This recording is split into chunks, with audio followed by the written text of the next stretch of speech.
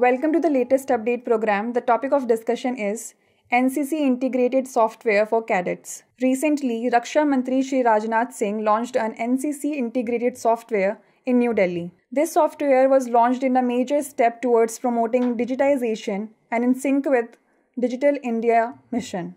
The NCC integrated software is developed in partnership with Bhaskaracharya Institute for Space Applications and Geoinformatics, that is BISAG.